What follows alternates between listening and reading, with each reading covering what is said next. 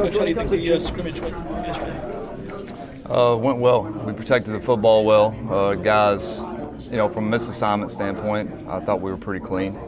Um, we ran the ball effectively, which is one of the things that we had an emphasis on going into the scrimmage. So I thought we did that well. Um, you know, one thing we got to get better at is just playing cleaner, uh, sustaining drives, and our defense. You know, give them credit. They're, they're playing playing really soft defensively, and they're they're making us earn every yard.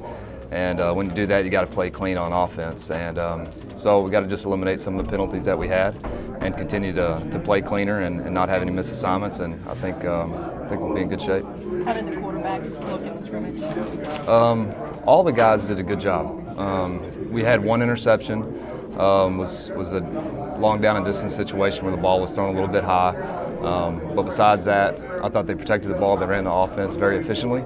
Um, I think they understand exactly what we're trying to get done, and, and I can see watching the film that their eyes are in the right places, and then they're distributing the football well. And that's one of the things that we got to do. We got got good athletes, and um, I don't want the quarterback holding the ball long. I want to get in those other guys' hands so they can make plays, and um, they understand that. And I think uh, all those quarterbacks, not just you know three guys that most people are talking about, but all the quarterbacks are doing a really good job. How close is the competition? Is, is there anybody that's you know got a leg up in it? No, I mean everybody's battling. I mean, um, you know, one it's you know day to day deal, and um, and we're we're evaluating everything, you know, on and off the field. And um, those guys are, are, great young men. They're all very competitive. They understand the situation. You know, there's going to be one guy. Uh, I believe Coach Taggart mentioned earlier that he's going to name a guy before for the opener. So they understand that, and um, but I like the vibe in the room. You know, it's not not a hostile environment. You know, the guys are all wanting to, to get better on a day-to-day basis and be a great teammate. And um, you know, you do that, you have a chance to be successful. James has been through a lot here in Tallahassee. Do you do you see a maturity and even a confidence uh, as he evolves here as a yeah, football player? he has been through a lot. Um, you know, he's put in the fire early as. Uh, as a skinny freshman year old, you know, and, uh, and got beat up, you know, got beat up. So those things are, are tough to, to deal with as a as an 18 year old true freshman, um, you know, let alone a fifth year senior. And uh, you know, y'all know James. You know, James is an unbelievable kid. Love James, his passion, um, his competitiveness, his belief in himself. Um, so James is right where he needs to be, and he's uh, he's hungry, and um, he wants to eat. Coach, you've said before that you like the talent, but you didn't think the depth was where it needed to be a receiver. That's right. Ideally, if you're running the number of plays that you'd like and you're in rhythm, how many how many guys are going to play for you? Rotation. you know, within drives, you know, we're really not going to do a whole lot of substitution within drives. Um, but you got to have you got to have seven, you know, bona fide receivers, dudes that can play for you throughout the course of a year, uh, just because you're going to need them. I mean, those guys. Um, you know, when you're really, really twitchy, you're going to have some things that they're going to bother you from a soft muscle tissue. You know, it's just the way it is. And we can we can work out all we want, but we ain't going to pull much. But those guys are wound pretty tight. You know, so uh, you got to have them. And uh, I think we've got a good group. I think um, the young guys. Uh, the kids that redshirted last year, they've done a really nice job and, and added some good depth. So feel feel strong about the receiver group right now. When people talk about James, it's always about his leadership and what kind of kid he is. As an actual functioning quarterback, like hand talent, arm talent, how would you assess him? James is, um, you know, the way he plays the game, he plays it a little bit different than everybody else. You know, he, he does have that competitive passion, and he is a great leader. Um, his arm talent is really good. His accuracy is better. Um, so I like that about him. And then he's a good decision maker. Um, and there's been some times when he's been a little loose with the ball, and we've addressed that. Um, and that's that's the main that's the main thing. I tell those guys all the time. The number one ability you can have as a quarterback is predictability, and I got to know where that football should be going, and um, and he's got to be on the same page as, as us offensively. So um, I think he does have great ability. He's not the best runner in the world. He's not the strongest arm in the world. But when you put everything together, he's, he's a dang good quarterback. You've mentioned things need to be instinctual and not so much thinking. Is that something these guys can do in two weeks? Is make this offense feel instinctual to them? I hope so. We're gonna find out. What does Alex bring to the quarterback room? Um, Alex is, he, you know, he's a guy who's he's been through it. You know, he's a vet, um, and you, you love having those older guys around. Um, he's seen it. He's played a lot of games. Um, he's he's gone through the ups and downs of being a starting quarterback, all those things. And then um, I've been really impressed with his knowledge. You know, coming in here and not having the spring that the other guys did, and uh, being able to learn and retain. Um, he is a he's a really smart kid. As y'all, I'm sure you've gotten to meet him. He's um, he's a really smart kid. Whatever he does, he's going to be successful uh, in life in general. And um, and he's got he's got some playmaking ability about him. He runs a little bit better than you'd give him credit. And uh, it's a little different for me having a southpaw out there. You know, I'm not used to that. I gotta gotta train my brain around him sometimes, but. Uh, I, I, like the way he's played the game, and he's done a good job um, with the team. The team really respects him, and and that's tough. You know, coming into an environment where you got a guy like James who everybody loves, and uh, he's worked himself into to everybody really respecting him, and and he's done it by work. That's it, and uh, he's put in the time, and um, I'm really pleased with him and where he's at. Can you take us back to when you first uh, met your offensive guys, and, and do you remember the look on their face when you told them there wouldn't be a playbook? I don't. I don't really recall, honestly. Um, it's not like I know. I know in the media sometimes it's it's kind of a big deal, but uh, I don't really look at it as, as being a big deal as far as not having a playbook. I, I know that that's a little bit unique, um, but it's it's just how we teach the guys, and you know they've. I think our guys are in a good spot. We don't try to make things really difficult. Try to try to simple, you know, simplify everything for them because it's, it's easy as a coach to sit in the office all day and, and dream up a lot of stuff and think that it's all going to be gravy. Um, there's a lot of bullets out there on the field, and those guys got to process a lot of information and, and react uh, because there's, you know, you can say that it's going to be this way, but it, it, may not be all the time. So um, we try to teach the guys um, by walking through a lot and by showing them video because, you know, you give a kid a book, you know, most likely not going to read it. Most of the kids that we're, we're, we're trying to get to do what we want to do but if you give them video, you know, that's, you see kids on iPads and phones and watching TV and on Netflix. I mean, they're looking at screens all the time. So that's how we try to teach them. And, um, and then we do it also by, by walking through and, and putting our hands on them and really teaching them what we want to do. So I think our guys have done a great job learning. Are you, are you pleased at how they've adapted? I have, yeah. I mean, I'm, I'm pleased with it. And it's always tough. And I mean, you're going to see things throughout the year where guys may not do right all the time. But when you're playing at a really fast pace, um, there's a lot of things that gotta gotta happen between the snap as far as trying to process the information that's coming out and then react. So, um, but I'm pleased with our guys. Coach, going along with that, the tempo is it where you want it to be, and, and how much more do you need to improve if it's not? Um, we do need to improve. Uh, we're we're going to be fast, and you know, I'd rather be productive than fast, but we are going to be fast, and um, our O line really the last uh, three practices, we've done a great job of, of having the time that Coach Taggart's put in the schedule to be able to coach that a little bit better. And, and that's the biggest deal is you got to coach it and you got to work it because it's, it's, it is work. And uh, Coach Clements, obviously, he knows um, exactly what we want up front. And those, those guys are the guys that got to get up and get set the quickest. And a lot of times when you're 340 pounds, you don't really want to work hard between snaps. And uh, so that's that's we've had to cattle prod them a little bit, get them going. But I really like where we're at right now. Coach, uh, Coach Taggart talked about um, you know how giving up the offensive play calling allow frees him up a little bit at practice to you know work with different groups and just how he's comfortable this year. Um, how comfortable are you within the offense, and what's the chemistry like been like between you and Coach Taggart? Chemistry's been great, um, and really with the entire offensive staff, our, our GAs, quality controls, everybody, they do a tremendous job. Um, you know, Coach Taggart already had a really good offensive staff here. I was able to step in and um, and be myself, and that's that's all I've been everywhere I've gone. It's just is going and be yourself, and uh, and then get going and make sure we're all you know on the same page, the same mission. And uh, we've got a great staff, and uh, Coach Taggart's allowed us to coach and do our jobs does tempo help an offensive line conceal any kind of like deficiencies or anything?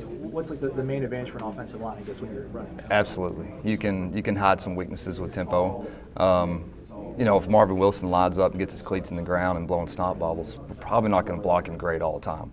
But if we can go sideline to sideline, make the whole defense chase, uh, then you don't get those guys set all the time, and you can come off and take your steps and be able to create some creases, cover some guys up, and then let our backs do the rest. And so that's you know, that's one of the things we try to do. Coaches, defensive coaches are always coaching pursuit drill. I mean, you hear it all the time. Pursuit of the ball, pursuit of the ball, run to the ball, run the ball. We want them to run to the ball because we're going to run back to the ball. We're going to line up fast, and now everybody's got to try to get to their positions. So, you know, defenses that play really hard, um, a lot of times they'll tire themselves out, and um, and that's one of the things you know that we've developed over the years as far as our tempo. We understand that, so uh, we just got to continue to get better at it.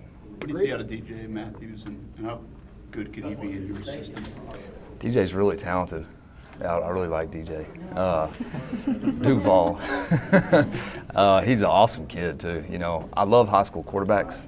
Um, anytime you have a high school quarterback that's playing on offense, first of all, the coaches have had to depend on him, um, and he's had to, the, the team have to depend on him. He's that had to touch the ball every single snap in high school. So when you have a guy that has that as a background, you know, you feel really comfortable about what he can do and then having the ball in his hands because he's done it, you know, all his life.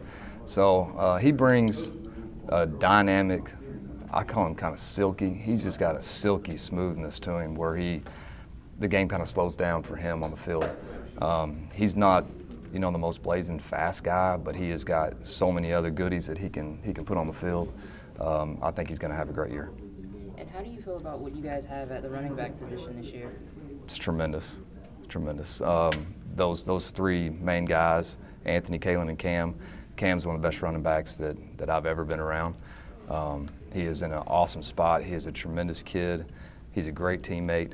Uh, he has worked his butt off the entire summer. Um, and, and Sheffield, who's, who's a kid that is from a little west of here, um, he, he's done a tremendous job too. He was kind of playing receiver and running back in the spring, and we've he's been focused all on running back, and he's he had a great scrimmage yesterday, really running physical, and um, and proud of the way he's run. And then we got some other kids that are here that that walked on that are going to be really good backs as well. For the quarterbacks, are you guys, in terms of grading them in this competition, are you charting every throw, or is it something you're Everything. judging with your eyes, or just Everything, everything's documented and everything's given to them, and they know exactly where they stand after each practice. Um, so no, there are no secrets, and the film doesn't lie, anyways. They know, you know, as, as soon as we put on the tape, they know exactly what they did and did or didn't do. Do you do you feel like you and Coach Taggart both appreciate the same stuff in quarterback play when, when you guys are looking at things? Are you guys on the same page in terms of that's what you like and that's what he likes and that's your grading? Yeah, I think I think any offensive coordinator and their head football coach they have to be. You know, um, he has the team expectations, and it's my job as offensive coordinator and offensive staff to to make sure that we have the the same vision and uh, get the same outcomes. So, um, yeah, definitely being on the same page and. You know, you want pr- productivity. That's what you want, and you don't want turnovers. So if a guy can, you know, get in the car and turn it on and click the seatbelt and, and drive straight, then that's what we want. And uh, those guys got to continue to do that on a daily basis. Coach, two questions on tempo. One, compared to last year's offense that you saw on video, you weren't here. Is the tempo going to be even faster this year than last year? I don't know last year. Okay, but you saw the video. I mean, we, we had some problems getting plays getting going, getting the tempo that, that Willie wanted. Right. This year, you're getting the plays in because it's more simplified. You, you, you, you see a quick a quicker tempo this year versus video from last year. From from, to be honest with you, I really didn't watch much video last year. I really did not, um, because I wanted everybody to be on a clean slate. I didn't want to have prejudgments of guys because to me it, it didn't matter. You know, you know, I started clean in, in this in the spring in January and wanted to judge everybody from what they are right now, not what they've been.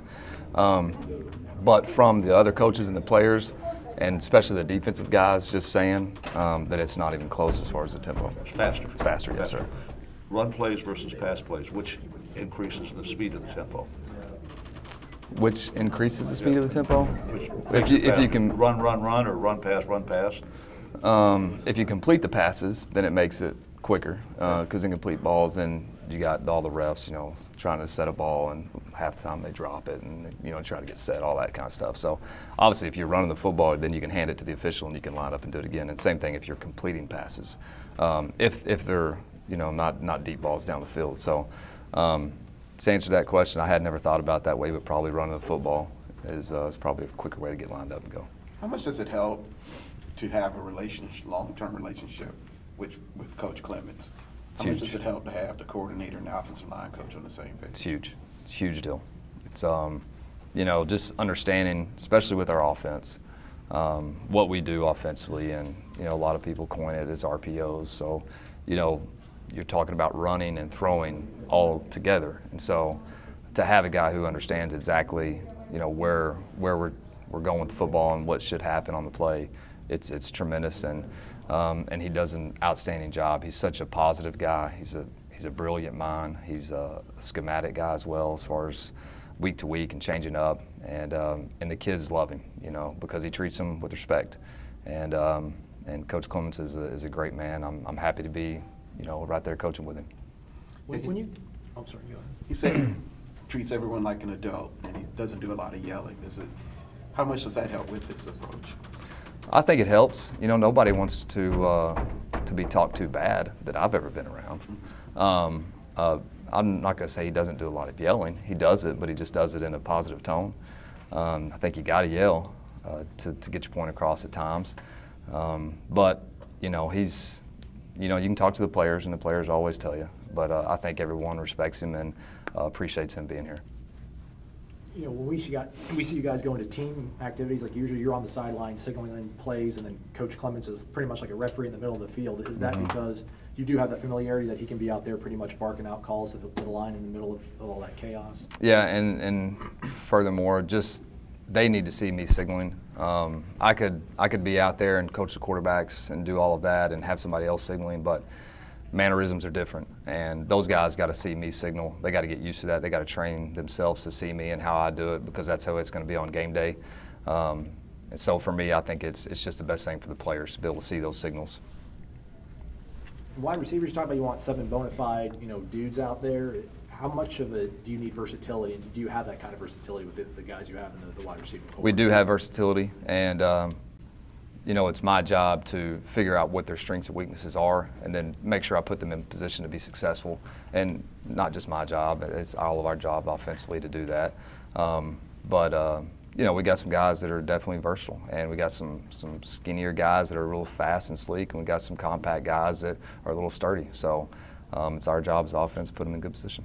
Is there something about the way guys like KD and, and Corey were built for you and past stops that made them so successful? I mean, around here we think like six five, or you know, fans think six five is the way a receiver should be built, but you know, five ten can get it done in 170 pounds. It seems like for you. Yeah, if you can run and catch, then you can get it done, and we'll find a way to, to, to get the ball in your hand and uh, get you in space, um, because those guys, they make us look smart. to be honest with you, I mean, we got to find ways to get them the ball in space and let let their God-given talent shine. And um, so, yeah, you can do it with with all different types of players, and we've got uh, we've got a couple guys to pick from. So I think uh, think we'll have some guys that that you'll see and, and be very explosive. Coach, Coach Taggart's mentioned a few times that you, that he, one of the things he likes about you is that you have a chip on your shoulder. Is that something that has always been there since you were a competitor? And where does that come from? Yeah, I think that's just you know how I was raised, how I was brought up. That you know nothing's given to you, everything's earned. And um, you know when I was a young kid, I was you know uh, in a town that was kind of a one-horse town, and uh, I was always a quarterback. And so anytime you're a quarterback, you got everybody looking at you, not to do right, but to do wrong. And so all my life, you know, it's just it's how I've been, and uh, um, I've carried that throughout throughout where I am now, 36 years old. My kids will have that same chip on their shoulder. We're not not ever going to take anything anything for granted, and um, always gracious of everything that we have, and we're going to work. Did, it, did that excite you about this challenge? I mean, not that you're focused on the past, but obviously Florida State's been struggling the last year or two offensively. Did that excite? Like, does that challenge get you going a little bit? I wouldn't say the challenge. Um, you know, when I started looking at it, I would think that, you know, one of the things was that's not Florida State, you know, and I, you know, have a chance to help it. And um, I looked, you know, went back and looked through all the stats and how they were offensively, and then, you know, I watched one game. I watched a Virginia Tech game. That was, I think, a Monday night game, and I was I was at home that evening, and I got a chance to see that, and um, I, I didn't think that it was right. Then I don't know how many we ended up scoring, but wasn't wasn't scoring and wasn't wasn't being dynamic on offense like you know all of us have seen. I mean, I'm a Texas guy, but Florida State's on the field. They're usually throwing up some numbers and doing some great things. So.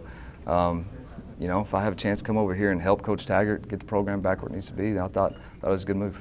When Coach Taggart was at USF, he visited Baylor. Mhm. Is that when your relationship started to develop? Yeah, it was the first time I met Coach Taggart. He came and, and was there uh, maybe 36 hours. I, I remember him coming into our office and staff room and, and uh, you know, talking, and then we put him back there and gave him some tape and let him go to work, and then they were at practice and saw how we practiced. So um, I think he was making a couple stops that spring, trying to, to change from the uh, heavy formation, I formation run game to a spread, and uh, that was the first time I was around him. As you get closer to that first game, does the way you sort of evaluate the quarterbacks change? Is there anything that gains greater emphasis for you as you look through the film and see what they're doing? just protecting the football, and that's been the number one thing we've talked about: protecting the football. You know, we, I mean, that's the most precious thing in the world, and there's 22 people on the field trying to get it, and you do not give it up. Um, things are going to happen, understand that, but we've got to be incredibly smart with the football. So that's been the number one thing. We got time for a couple more. Coach Clements spent a year at Southeastern in Lake. Yeah. What does it say about him that he was willing to spend a year at a NAIA school? all I did was lead America in offense that year um, on that level. So uh, they did a good job. And uh, I mean, you have, you have to talk to Clem. Coach Clem's he's a he's an awesome individual, great great person, great man, and uh, he's a, he's a heck of a football coach. So he's he's going to be successful where he has. And if you if you really look at what he's done offensively from a run game standpoint, um, it's probably just under 300 yards a game uh, where he's been in the collegiate level. I would I would guess. I, I'm saying it's over 250. So he understands how to run the football. So I'm glad he's on our side. Coach, uh, I'm coming from Orlando. We cover a lot of UCF. Do you, Coach Levy, Talk, every minute of every day. Yeah. Like yeah. What kind of shop do you guys talk? Do you, do you share stuff? Do you share game planning? Because UCF runs that kind of tempo. Yeah, they do. Um, I mean, he's my brother-in-law, obviously. I mean, I've known the guy since since I was born and he was born, so I've known him my entire life, literally. And uh, yeah, we talk we talk about everything all the time. And if there is something that that he's getting after the defense with, and you know, I'll ask him about it. We'll send video through iPhone. Same with us. You know, we we share information, and um, they've done a tremendous job down there. Coach Heupel's done a great job. So they've got that thing rolling. I think they got that that conference in a headlock right now. All right. So who's UCF's starting quarterback? don't ask me those questions. Go go down the road and ask those guys. I don't know. I'm not in that building. All right, thank you, Coach. Good. Thanks, Thank y'all. Coach, good luck.